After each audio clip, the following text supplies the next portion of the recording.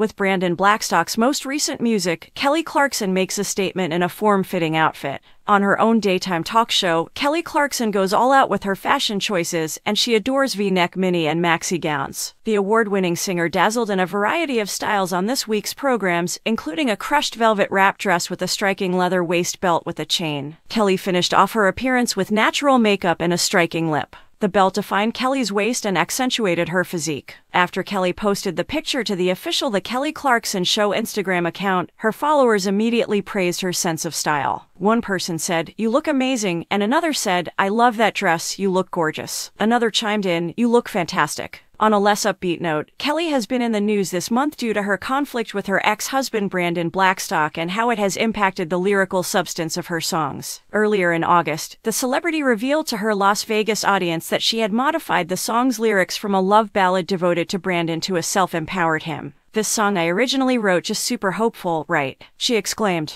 And as hope can often lead to despair, let's begin piece by piece. The singer had changed the words from E to I in the lyrics, which previously described a guy helping to mend the star's wounded heart. The American Idol graduate has been incorporating her divorce related experiences into her songs. Chemistry, her most recent studio album, was released at the end of June. The CD, according to her, covers the arc of an entire relationship. She stated in an Instagram post from March, I was trying to find a term that properly expressed the entire event because I didn't want anyone to think I was just coming out with some simple, I'm upset, I'm sad. A complete relationship shouldn't be reduced to a single issue. Therefore, it has elements of the good, the evil, and the ugly. River Rose, age 9, and Remington Alexander, age 7, who were born to Kelly and Brandon, are split up and have joint custody of them. In an interview with Entertainment Tonight in October 2020, Kelly discussed her divorce and said, I feel like if you're hiding something, there must be something wrong with it. There's nothing wrong with anything. Either life simply sort of happens and sometimes takes terrible turns that you didn't expect.